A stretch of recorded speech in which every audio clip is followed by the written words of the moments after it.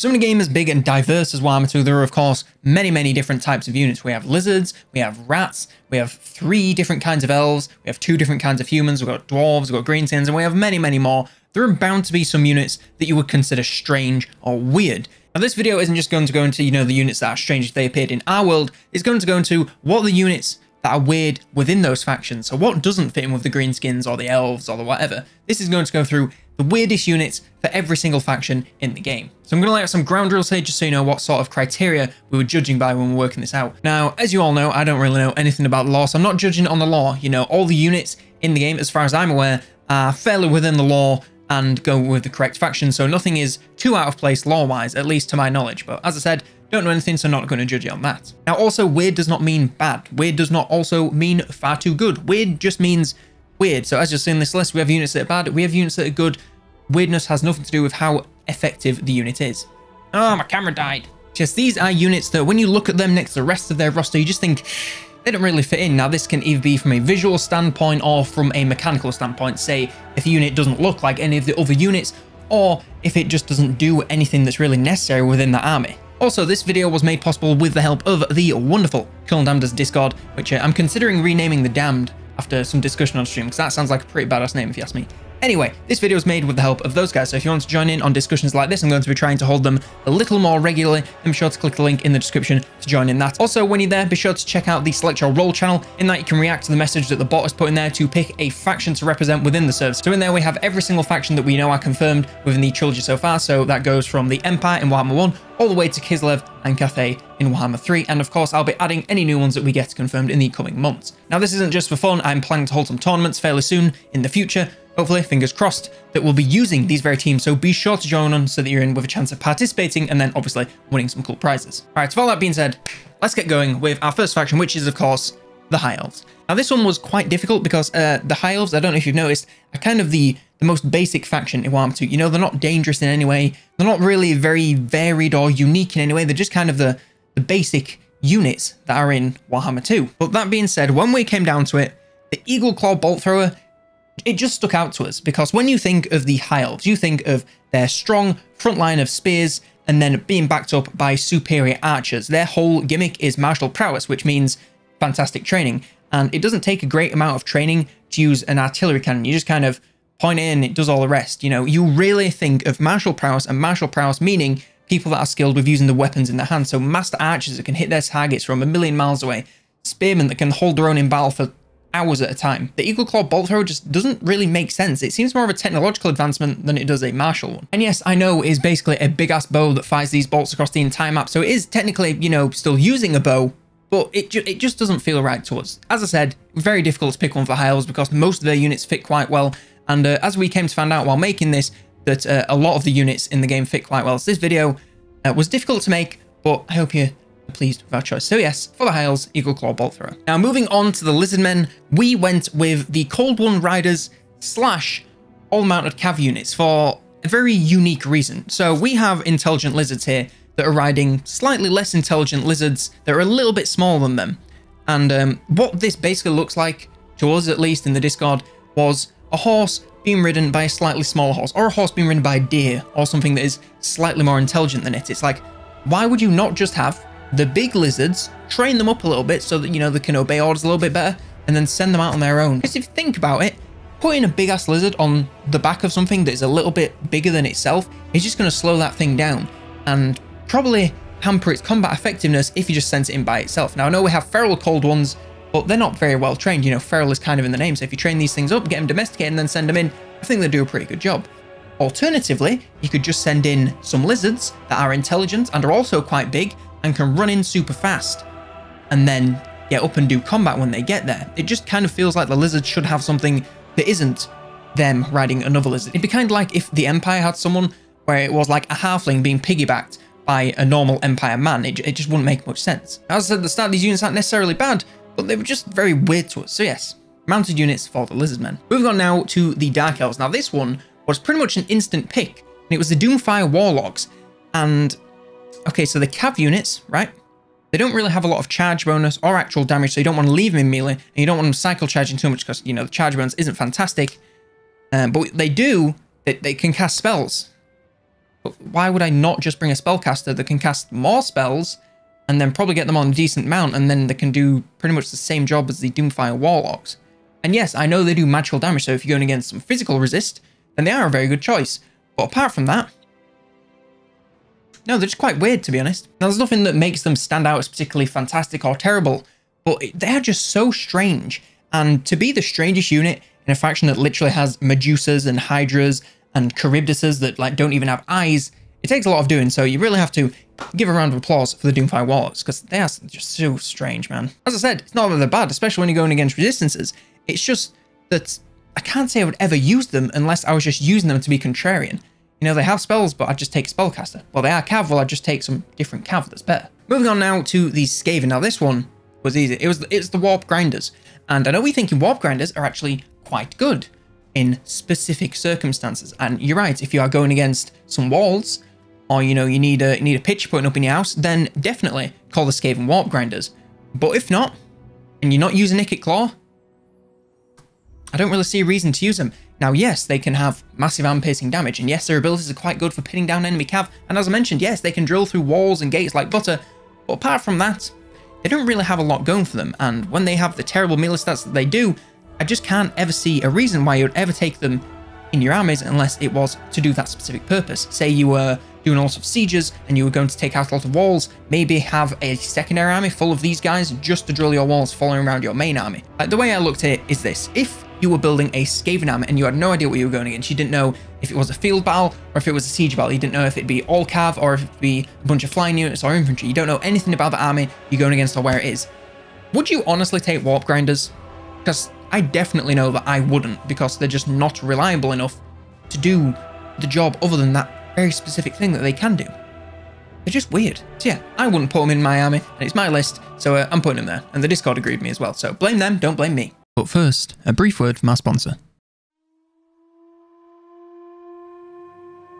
What are you doing, dear? Just looking for some games to play, but they are all so expensive. Plus, I don't know what games my favorite influencers recommend. Have you tried Nexus? What's that? Nexus is a platform where you can see what games your favorite influencers recommend and support them by buying the games you want. Do I have to install a new client just for Nexus games then? No. The stores are all online and provide keys for existing platforms like Steam. I bet all the games are expensive and never on sale. Actually, Nexus price matches Steam, so if a game is on a Steam sale, it'll be the same price on Nexus. On top of that, Nexus also have their own sales every now and then, meaning you get twice the chances to pick up cheap games. And you say this can support the influencers? Yes. Any game you buy from their shop gives them a small share of the profits. You can even see how much this is by clicking on an item. So, is Colonel Damneders on Nexus? Of course. And what games has he got on there?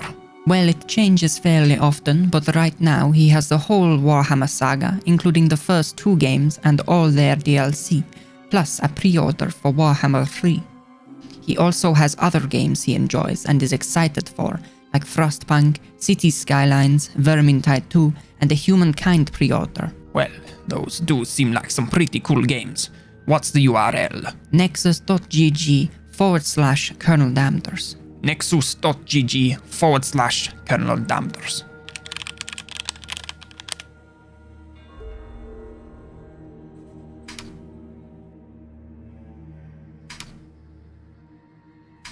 I guess I know where I'll be buying all my games from now on. Now for the Vampire Coast. This one was actually rather straightforward when we got to it. It's the Death Shriek Terrorgheist, because what the frickle freckle does a dragon have to do with being a pirate?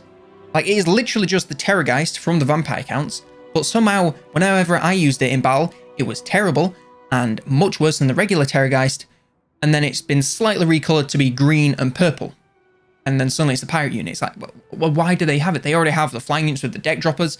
They don't need a large flying unit. You know, they have the Necrofex if they want a large unit.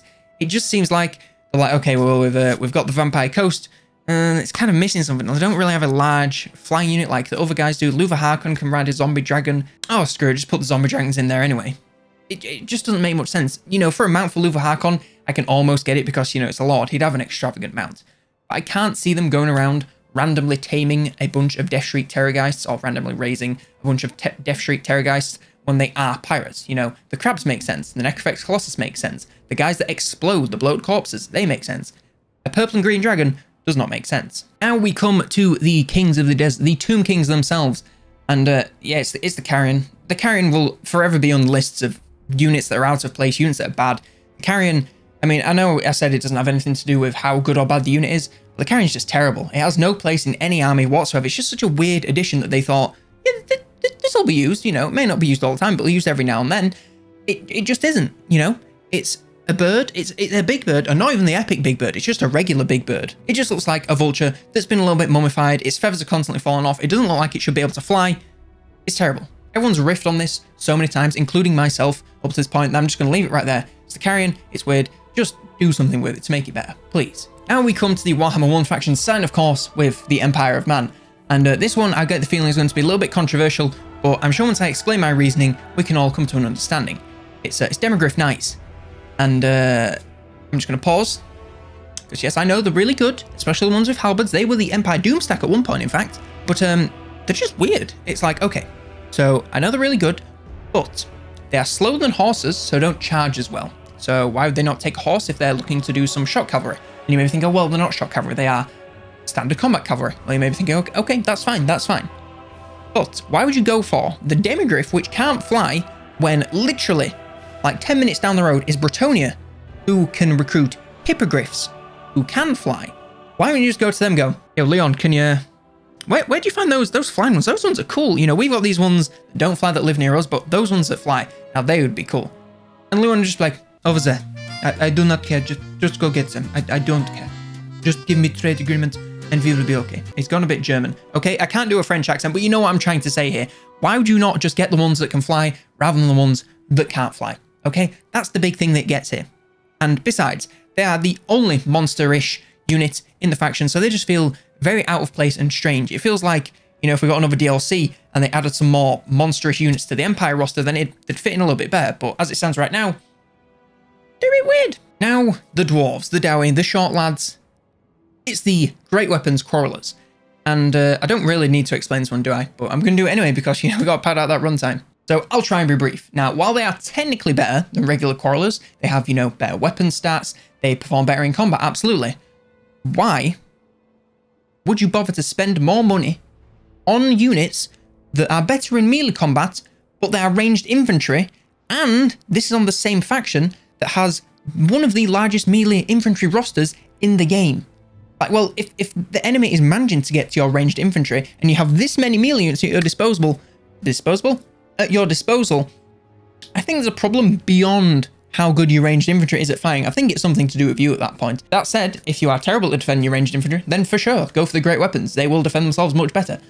But for your average Joe who can defend his lines, at least somewhat decently, just bring more melee infantry. Why would you bring these guys, save the money, and just get some either better ranged units, like get some Thunderers or something that do more range damage, I'll just get these guys and save some money and then stockpile. Now, if you want an early game Doom stack of versatile units, then yeah, full army of these guys would probably do just right. Kind of like Lord and Seaguard-esque things. Other than that, they're just, they ain't it, Chief, okay? They ain't it. Now we come to the greenskins. Now, this one was actually pretty hard. You know, we tossed and turned, we went to the trolls, because with the recent DLC, the regular trolls just have no place because stone trolls and river trolls are much better than them. But we somehow landed on the squig herd. Now, squigs are completely out of control, as we all know. So when they are in control, they basically just have a goblin strapped to the top of them and then bound into battle and then go on a rampage while being semi under control.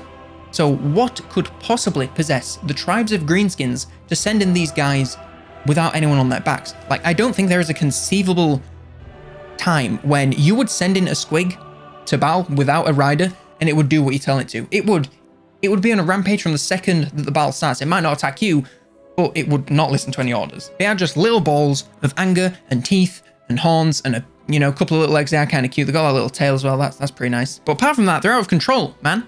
So it doesn't make any sense that you would send them in by themselves, at least to me, and at least to the Discord. And uh, we're really tugging at straws for this one. So um, if, if it's not that detailed, I'm sorry. Now we come to the vampire counts, and these ones from this point on are actually going quite quickly because it is pretty clear to see which ones do not belong. So the Vampire Counts, as we all know, my personal favourite faction. And uh, is it any surprise that it's the base Corpse Cart? I'm pretty sure this won the worst unit award as well. And um, pretty much for the same reason that it's winning the weirdest unit award, because it just has no place. It doesn't fit in with the roster. Why would you ever go the base Corpse Cart when you have other units? You know, like the Corpse Cart Balefire, or the other one that does the other thing, the one that revives people. Why would you ever go the Unholy Lodestone? See, I remembered. Why would you ever go for the base Corpse Cart? It offers the same buff as the other ones, but doesn't include their buffs that they also add. So why would you ever get a base Corpse Cart? Helman Ghorst, man. Stick to the mayonnaise, because you do not know shit about building armies. Finally, we're coming to the Warhammer 1 DLC, starting, of course, with Norsca. And this one is going to be the base Marauders. Now, there was a lot of debate on this one. Some people said it should be the Fimir Warriors because they're technically monsters, but they're also using weapons. So it seems like intelligent monsters won't really side with Norsca. And then we decided it could be trolls because why would you get regular trolls if you could get ice trolls when all the Norsca live in his ice? So surely all they'd be able to find is ice trolls. But we came to base Marauders for the pure reason that they are pretty much a copy-paste of the unit from the Warriors of Chaos. They have more or less the same stats. They are literally just copy-paste. I know it's a meme at this point that Norsca is basically the Warriors of Chaos copied, pasted, thrown in more mechanics and make them a lot better. But this is just ridiculous. They are literally copy-pasted units and the pointless copy-pasted units. Like, why would you ever go base Marauders when like the next building up or the same building, uh, it's been a while since I played Norsca, you have to forgive me, you can get Marauders that have spears, which are better monsters, or Marauder Berserkers, which are better infantry. There's just no time apart from like turn one when you would ever go base Marauders. So why do they exist? They're, they're just kind of a unit that's there to be used for like one turn and then never used again. Even units like zombies are used beyond turn one because they're useful for chaff. Skaven slaves are used turn one because they're useful for chaff. But in the Norscan playstyle, in the Norscan roster, there's no place for them. Now, Bretonnia, my least favorite faction, some might say, uh, it's going to the Grail re re Relic Relicy Reliquary, the, the, guy that is basically a corpse of a, of a Grail Knight being carried around by four peasants. And just why? Okay, it gives leadership, and you know what? That's pretty good. Given leadership, in fact, I'm pretty sure if you go back to my Bretonnia army guide, I'm pretty sure I had a couple of these in my army because I really like they gave leadership. They could just run around, they looked cool, they didn't require much management, you just send them in there. But you know what else provides leadership? Heroes. And uh, you know what else heroes can do? Actually fight in combat and be useful. Maybe cast some spells, depending on what heroes you get. So why, in the name of God, would I ever go for a Grail Reliquary, really one of these guys, when I could just get hero instead? And I know you may be thinking heroes require capacity and that requires buildings and it's a lot more expensive. Yeah, I get that. But, and believe me, I'm not a hero spam player. I think hero spam is horrifically cheesy. I never run it. I have like one or two heroes in my army at the very most. I just don't understand why you'd ever get this if you could get a hero. So yeah, don't get these guys, get heroes because they provide the same leadership buffs, but better, and also can fight at the same time. Now the faction that has been most recently updated, which is of course the Final Elves, the Wood Elves. Now this one was pretty much argued for entirely by the Discord, so I'm just going to have to go over what they said here because you know, democracy rules and all that. They said the Zoats. Now, when I first saw the Zoats, I agree. I thought that they were a lizard man type unit, and I was like, well, what are they doing? They, they're clearly lizards. But apparently when you get into the lore, I have been told, this isn't me, I've been told that they actually do fit in with the Wood Elf lore, you know, Guardians of the Forest and all that stuff. Very, very cool. But um, but even in the lore, they they shouldn't be friends with the Wood Elves, they should just be friends with the Tree Spirits. They should kind of be a, um, a Forest Spirit unit, like the ones that Drycha can get with her faction mechanic. It doesn't make any sense that they should be friends with the regular humanoid Wood Elf Lords. So the Lords like Orion and Sister Twilight should not have access to the Zoats. They would hate them at least as far as I've been told. Again, the Discord's told me this one, so I'm just going over them. If it's wrong, go into the Discord, join that, and give them a talking to. Okay? Cool. But aside from all that, aside from all the lore stuff, as I said, we're going to try not to get into this. They um, they, they just they, they're just a bit weird to be honest. Well, the Wood Elves already have a lot of cav, so you know they have a lot of fast units that can get around into the enemy backs. They already have a lot of large units, you know, like the Tree Men, the Tree King, that can get into the front lines and do a lot of damage. They already have stuff that can hunt down cavalry just by shooting at them. They have units that are fast, they have units that are strong, they have units that are big. What they didn't really need is a Dragon Ogre reskin, because let's be honest, yeah, they're basically the same unit, okay? Yes, Zoats for the Wood Elves. Uh, I still think they're good, for the record. They are good units, but they're just very strange. Now the Beastmen, now you could argue that um, the units that don't belong to the Beastmen are every single unit, because Beastmen are whack. Actually, I tell a lie, the Beastmen roster is not that bad. But one unit that I'm surprised we haven't mentioned yet, because it is just so out of place in every single roster, It's the Giant. And uh, I know what you're thinking, Giants are useless in every single scenario, and you're correct, actually. Uh, but I don't want to bring them up every time because that gets boring. And as I said, this is not the worst units, this is the weirdest units. But in the Beastmen roster, first of all, it's tiny. So find a unit that doesn't belong. Well, you're choosing from about three units in total in the entire roster. Uh, but the Giant, it's just, it, it just makes zero sense why you'd ever take it. First of all, in the campaign, you need to build a building just for them. Why would you ever do that? It costs you a ton of growth for one unit that you can recruit. And even if you were using it, how many giants would you really take? I know you know you could do an OKI, however you pronounce his name. I apologize and get 19 of them. But are you really going to do that or are you just going to get like two? And is it worth it? It's not really. And also, if you're going to get a giant unit that can do a lot of melee combat and lots of melee damage, why not get Cygor? Because you know what it can do while it's not doing that melee damage and while it's recovering or while it's out of combat? It can throw giant rocks. It is literally just the giant doing the same job and then also doing another job and then also doing the giant's job better. There is no possible conceivable reason why you would ever take a giant. Don't do it. Our final faction, of course, is the Warriors of Chaos. And would you believe? Giant, again. And uh, pretty much the same reason as the Beastmen. Why would you ever go for a giant when you have the Dragon Ogre Shaggoth? A similar unit size, it does way more damage, it's way faster, it has a bonus versus large, so it can hunt down large targets. There's no reason for it. It's also a smaller hitbox, so it's not going to get shot as much, and I think it has missile resistance. Don't go with the Giants, they're useless people. And with that, we have finally concluded this video. Hopefully it is not too long. I'm looking at about 26 minutes on the whole waveform over here, so hopefully I'll be able to trim that down to a nice compact video for you all to enjoy. Um, if you stuck around to this part of the video, thank you very much. Love you uh, very, very much. Yes, I do. Be sure to join Discord, as I mentioned at the beginning. Also, while I'm plugging stuff, be sure to check out the Twitch channel. I'll also link that in the description. Uh, I'm doing all sorts of fun stuff over there. Been streaming some games that have been voted on by a poll every Thursday, and I'm also streaming Warhammer every Sunday. Might be doing some more streams over there soon. Only way to find out, join the Discord or join the Twitch channel, and you'll uh, you'll be sure to be one of the first people to know. Thank you very much for watching this video. If you did enjoy it, then, you know, definitely be sure to leave a like. It really does help out quite a lot. If you didn't like this video, disagreed with anything that I said, then be sure to leave it a dislike and tell me down in the comments what you think should have been the weirdest unit for every faction in the game. I'm very interested to hear people's thoughts on this one, because I think it is a very subjective video to make. And, uh, you know, videos that have opinions and they always, uh, they're received so well. If you want to see more videos like this, more content on Total War and strategy games in general, then be sure to subscribe to the channel. We're making videos like this every single week.